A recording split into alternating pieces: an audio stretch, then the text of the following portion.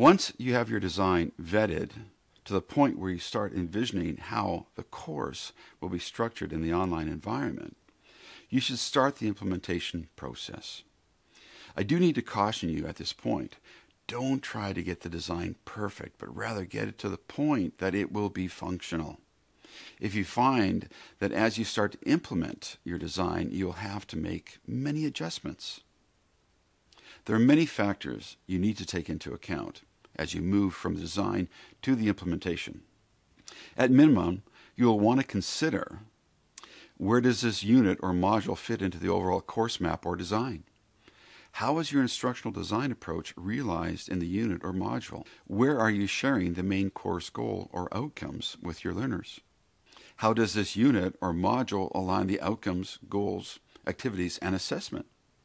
Is this module student centered or teacher led? What is the scope or range of the instructor's role? Are they a presenter, a facilitator, coach, a mentor? Is the course blended or fully online? How are you introducing yourself and building the learning community? What is the ratio of percentage of synchronous versus asynchronous collaboration? How will you address infrastructure, system, and support needs and issues that the learner may face? These key questions and considerations are included in the handbook. There may also be instructional or functional issues that the learning management system, what we commonly refer to as LMS, or other tools that will force you to make adjustments. Just consider this part of the process. Similarly, you'll need to keep in mind that the course will need to be continually adjusted, and the first few times that you run it, it will have to change. I found that my online courses really start to reach a point of flow by the second or third iteration. Most often, I'm taking things away that are necessary or adding a key idea or video or a bit of text that improves the flow. Don't be surprised by the fact that you may need to strip things away to increase the effectiveness of your course. More isn't always better. Over the years, I've learned to use a minimalist approach I now refer to as if I can just get them to do this, or if I could just get them to do that, or apply this, and so on, when I look at the flow of each section of my design and the course. I'll be referring to this if I could just get them to perspective often. You also don't have to get the full course up before you share it with your peers or colleagues. Because I use a modular approach, I'll get the overview, the first section, or the first module up. Once I have these two parts ready to go, I start the sharing process to get feedback. And I also arrange for usability testing um, that we will expand upon in the next module.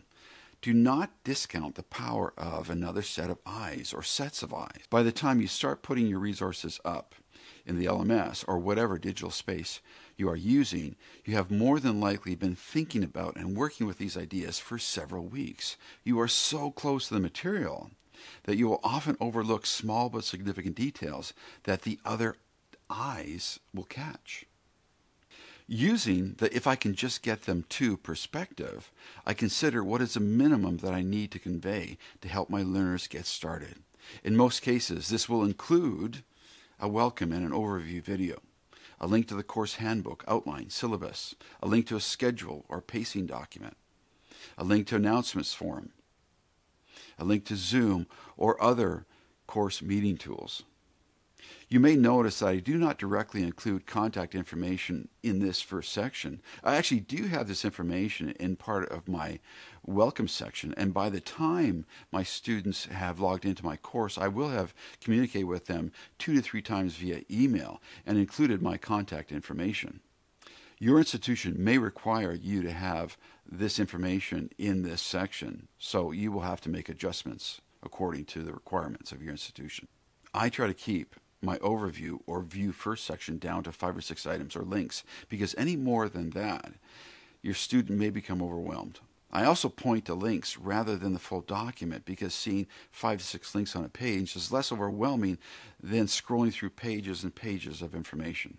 Research has shown that many people ignore step by step instructions, so if you organize information in links that your user can then choose to view in any order, you increase the likelihood of having that information read.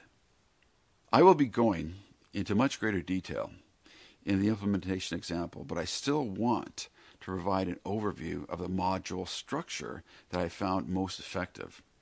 Remember, I'm still using the if I could just get them to minimalist perspective when I set up my modules, which will once again include five to seven items, an overview video, and a script.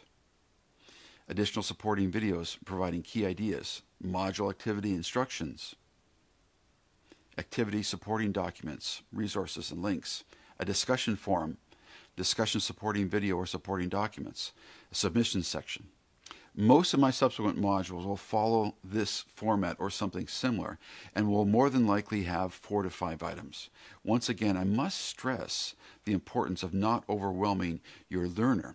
If your LMS allows you to just show the top level view of your course that can fit into one page, and the student then can click on headings to expand each module, this is a very helpful design. It gives the learner some control over the process and they'll not be overwhelmed with too much information all at one time. Now, you might be thinking, but what about all the other resources that you need to include in your course? Where do you put all those? I create a resources section and break it into modules and put the additional resources for each of the modules in this section. I have it at the bottom of, of my initial page. I warn my students that while these resources are useful, they need to discern what they will need to complete their learning activities. I will point my learners to what they need to, at minimum, successfully complete the learning opportunity, but also encourage them to go beyond the minimum. The key, from an outcomes-based constructivist perspective, is to give your learner control over how far or deep they need to go. Once you have the overview and the first module or two complete, you'll need to create your implementation video, which should incorporate a screen capture approach like Kaltura, Screencast-O-Matic, Kenpage, etc., where the key components of your implementation are shared and fully narrated. The video can be uploaded using my media or other media system and posted or embedded into the implementation form, and you can receive and moderate asynchronous collaboration. Or you can post this to your own website or blog or LMS or other digital collaborative space and share the link. Look forward to the feedback that you will receive and use it to make the necessary revisions to your course and its design.